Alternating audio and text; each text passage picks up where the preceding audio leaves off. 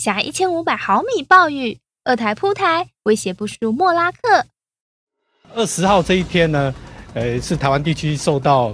整个台风跟西南气流影响是最明显的时间，在十九号明天一直到二十一号这段时间，呃，台湾地区整个降雨的雨量预估呢，好，大概是中南部地区有机会达到一千两百毫米到一千五百毫米以上的这种等级，所以提醒民众要特别注意这种情况。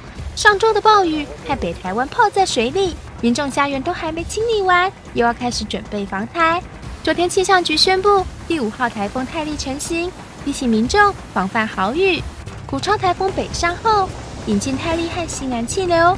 泰利从台湾海峡直扑而来，且西南气流夹带的超大豪雨，预估在中南部山区将带来超过一千五百毫米的雨量，威胁不亚于三年前造成六百七十八人死亡与小林村灭村的莫拉克台风。台风再加上西南气流，这种加成效应，可能下雨会非常的明显。泰利是由菲律宾命名，原意是刀刃。两千零五年，同名的强烈台风泰利从花莲登陆，造成三死。这次泰利从西南方登陆，直扑没有屏障的嘉南平原，网友戏称像利刃刺进台湾心脏地带，可能一刀毙命。